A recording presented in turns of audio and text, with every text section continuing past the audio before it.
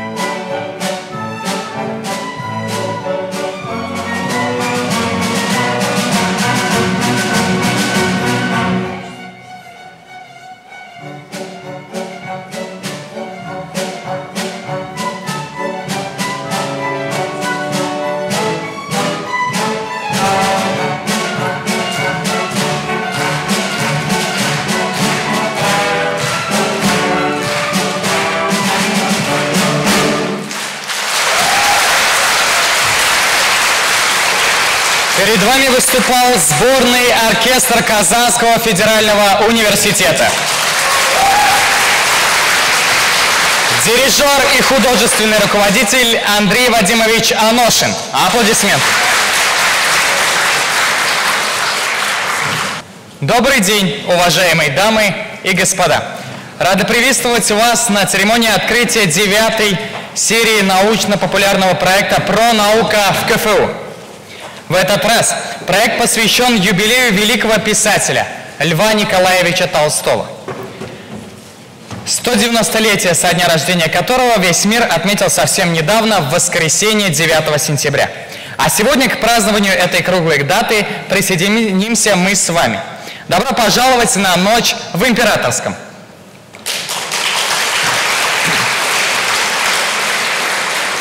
В программе вечера вас ждет много всего интересного. Лекции, мастер-классы, викторины, розыгрыши призов. Ну а сейчас для приветственного слова мы бы хотели пригласить на эту сцену ректора Казанского федерального университета Ильшата Равкатовича Гафурова.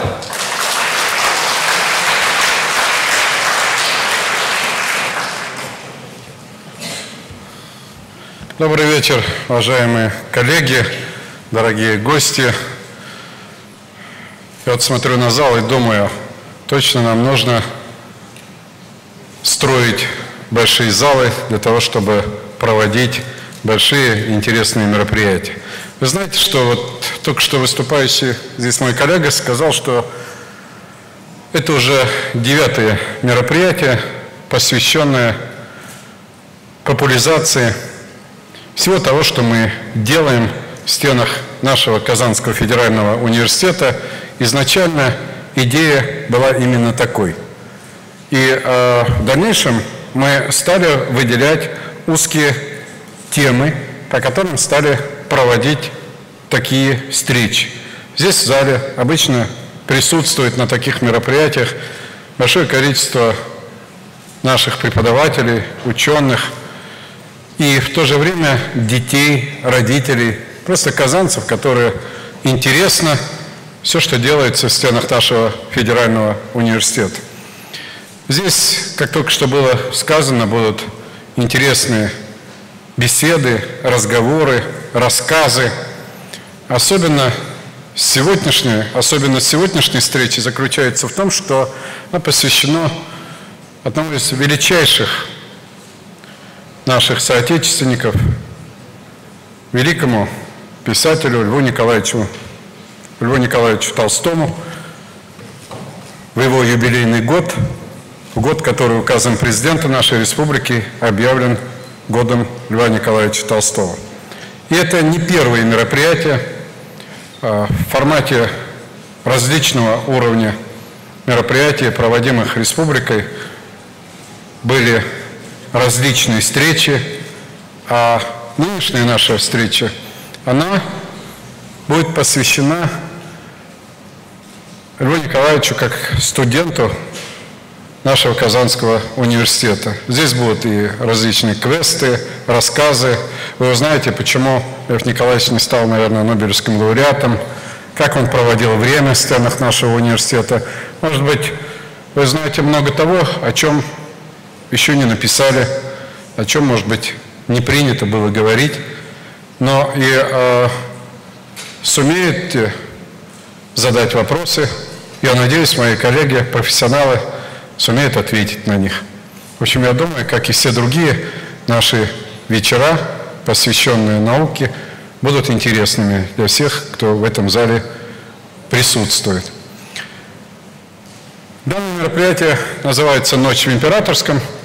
Тоже по одной простой причине, что мы хотели всем нашим гостям показать и наши музеи, которые в основном локализованы в этом здании, чтобы вы окунулись в аудиторию, а, где учился великий будущий писатель. Посидите, может быть, за той партой, где он сидел, и прочувствуете тот период. Не зря же вот э, наше мероприятие началось с марша. И я думаю, это начало хорошего нашего вечера. Я желаю вам всем,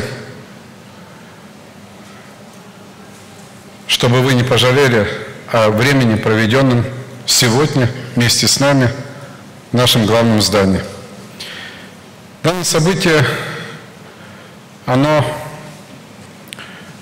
еще будет интересно в связи с тем, что завтра здесь же, в этом же зале, откроется международная конференция, посвященная другому нашему великому соотечественнику Гаврилу Романовичу Державину, 275-летний юбилей, которого тоже отмечается в этом году.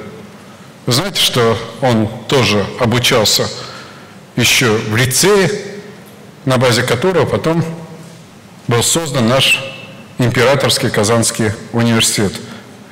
И он являлся почетным доктором нашего университета. И тоже буквально в субботу мы открыли в стенах музея, посвященных Лобачевскому, как раз выставку, посвященному одному из величайших произведений Гаврила Романовича «Оде Бог» который переведен был на многие-многие языки мира. По сути, специалисты говорят, что по количеству переводов он занимает второе место после Библии. И э, завтра вот здесь же откроется конференция, которая называется «Державинские чтения». И в то же время эта конференция будет посвящена тем вызовам, которые мы с вами имеем сегодня. Это вопросы регулирования права по использованию цифровых технологий в разных отраслях и науки, и бизнеса. Начиная от медицины, это направление будет вести известный эксперт и известный врач, доктор Рошаль, да? и вы сможете тоже и участвовать на этих мероприятиях, и задать вопросы. И будет достаточно большое количество различных интересных людей. Так что эта неделя у нас очень будет интересна. Я приглашаю вас принять активное в этом участие. А сейчас, прежде чем передать слово для выступления профессору Кочубею, который сам, наверное, представится и расскажет вначале коротко о себе, а потом выступит здесь, с этой трибуны секции. Я бы хотел на эту трибуну пригласить вице-премьера нашей республики, министра науки и образования, нашего друга Рафиса Тимирхановича Бурганова для приветствия наших гостей. Пожалуйста.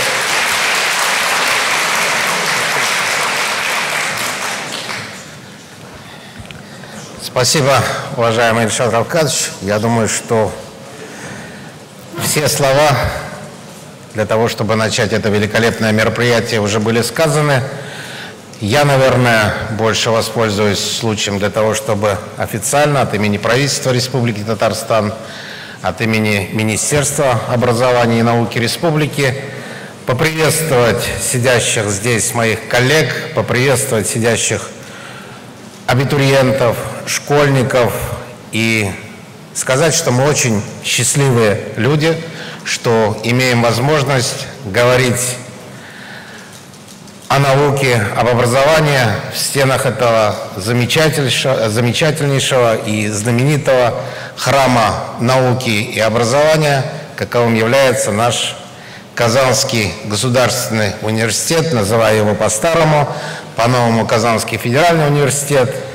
И мне очень приятно, что несмотря на то, что прорывные такие моменты в науке в столице Татарстана, они больше ассоциируются с физикой, с химией, с математикой, а мы сегодня обсуждаем э, гуманитарные темы, и для этого тоже есть все основания, и опять-таки они связаны с нашим замечательным университетом, с его студентами, с его основателями, с его студентом Львом Николаевичем Толстым, а, с его ректором Карлом Фуксом, который являлся одним из а, основателей науки, может быть, правильнее так сказать, этнографии во всем Поволжье.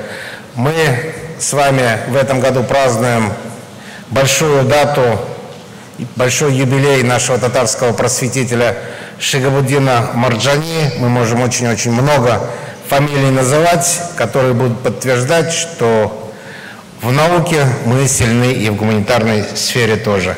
Я вас приветствую на этом замечательном празднике, и я думаю, что впереди нас ждет очень-очень много новых вещей и только положительные эмоции.